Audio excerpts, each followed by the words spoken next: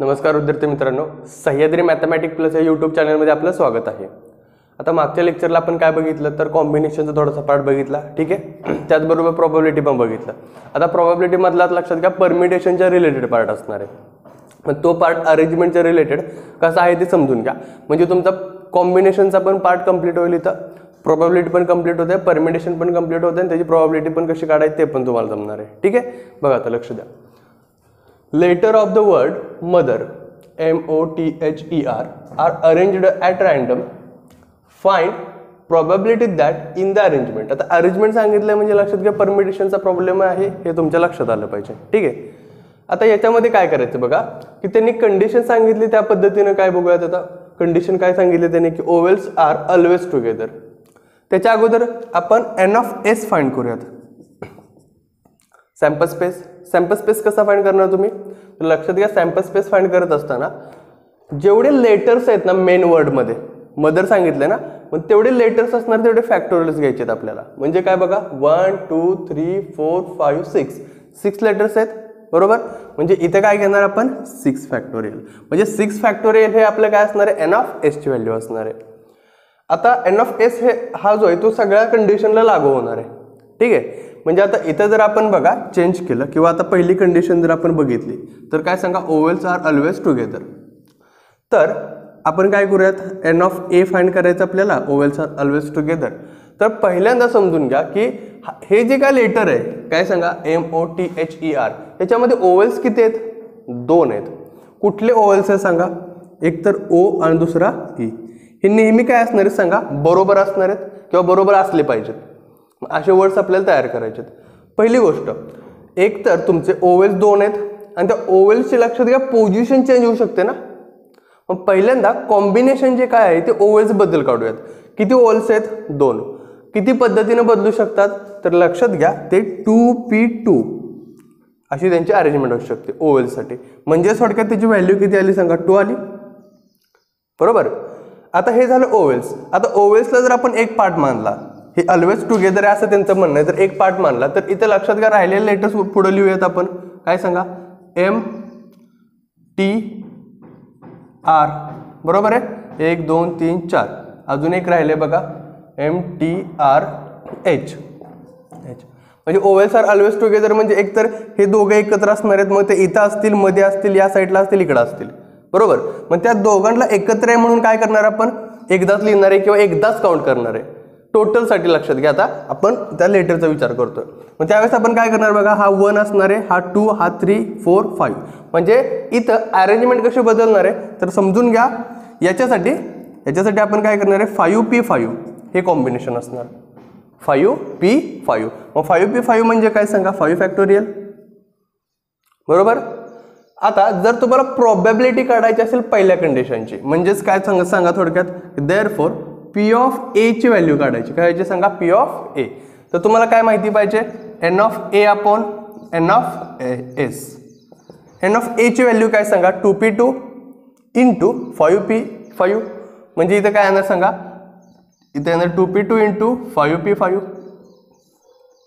आणि खाली फाईव्ह खाली काय येणार? N of S N of एसची व्हॅल्यू काय सांगा? Six factorial okay two P टूची value two into five पीची value five P फाईव्हची value five factorial divided by काय सांगा? Six factorial.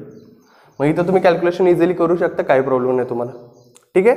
मग हे कॅल्क्युलेशन तुम्हालाच करायचं आहे म्हणजे प्रॉब्लेम फक्त मी समजून सांगणार आहे. की कसा आपण सोडवू शकतो ते. कारण इथं ते समजलं तर तुम्हाला पुढचं जमणार आहे सगळं. आता नेक्स्ट पॉईंट आता नेक्स्ट जो कंडिशन सांगितले त्यांनी. आता हे तुम्ही लिहून घेतलं असेल. हे मी पुस्तक लक्षात घ्या. आपण दुसरी कंडिशन त्यातली बघूयात. दुसरी कंडिशन त्यांनी काय सांगितले सांगा त्यामध्ये?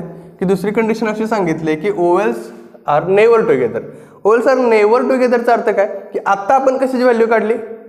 ह्याचं जे काय आत्ता जे काय आन्सर जे काय येणार आहे पहिल्या क्वेश्चनचं ओवेल्स आर ऑलवेज टुगेदर ती व्हॅल्यू आपण जर बघा आता पी ऑफ बी काढायचं आपल्याला. मग त्यासाठी आपण काय करणार? One minus P of B dash म्हणजे पी ऑफ बी डॅशचा अर्थ काय? तर ओवेल्स आर ऑलवेज टुगेदर मग ते जर तुम्ही वनमधून मायनस केलं जे काय प्रॉबिलिटी असणार आहे ओवेल्स टुगेदर असण्याची ती जर तुम्ही वनमधून मायनस केली तर जी काय रिमेनिंग राहिली आहे ती ओवेल्स आर नेवर टुगेदरची असणार लक्षात घ्या प्रॉबिलिटी म्हणजे पहिल्या क्वेश्चनचं या क्वेश्चनचा आन्सर जर तुम्ही वनमधून मायनस केलं तर तुम्हाला दुसऱ्या क्वेश्चनचा आन्सर मिळणार आहे. लक्षात आलं ओके आता तिसरा क्वेश्चन बघा. तिसऱ्या क्वेश्चनमध्ये काय? आहे? तर तिसरा क्वेश्चन समजून घेण्याचा प्रयत्न करा.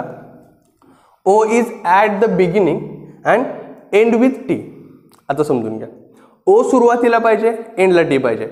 म्हणजे काय? की थोडक्यात पहिला पहिलं लेटर आणि लास्ट लेटर काय सांगा? फिक्स आहे? म्हणजे इथं बघा जर आपण लेटर जर घ्यायचं म्हटलं तर ओ एम काय सांगा?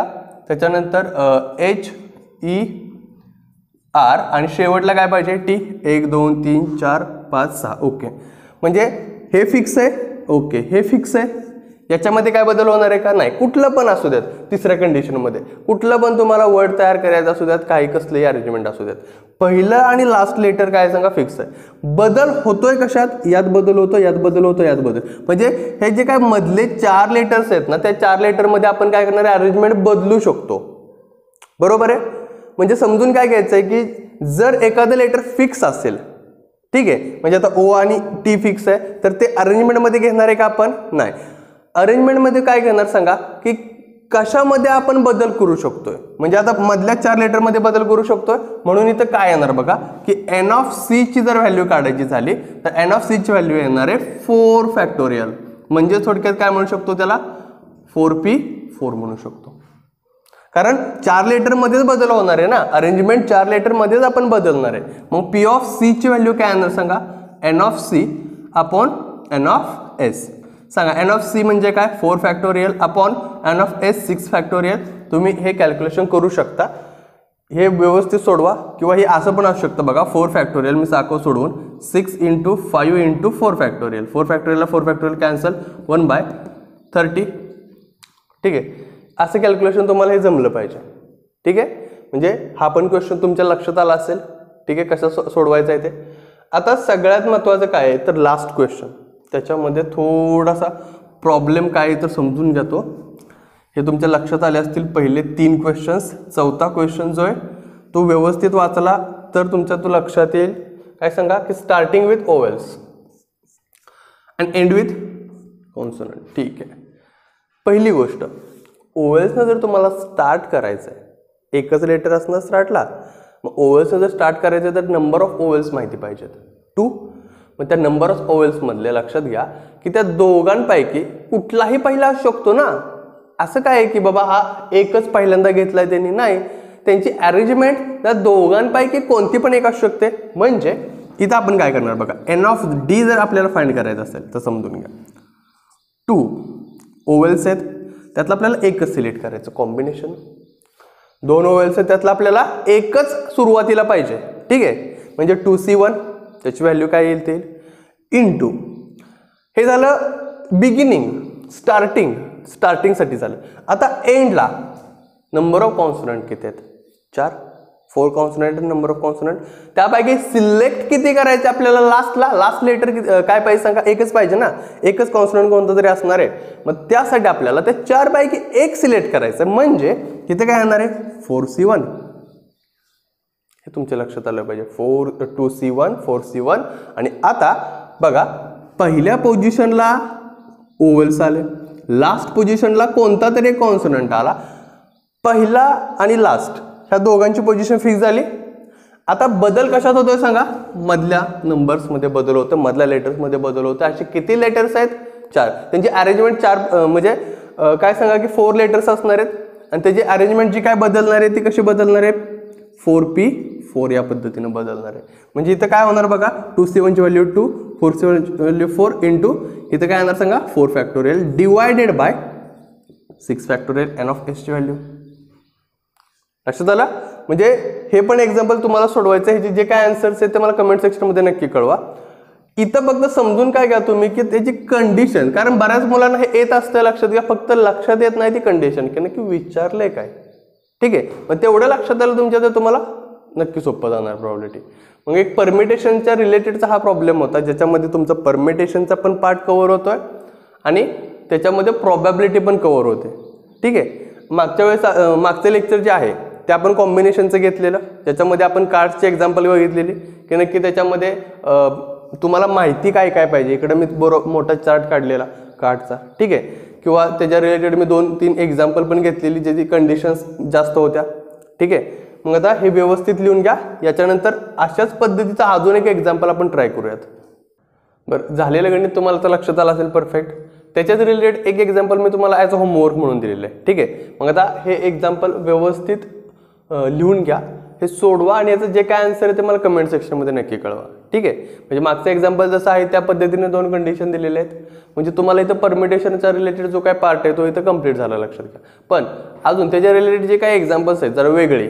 म्हणजे आता हा एक पार्ट होता अरेंजमेंटचा ठीक आहे? त्या पद्धतीने अरेंजमेंटचे अजून वेगळे पार्ट आहेत किंवा वेगळे एक्झाम्पल आहेत.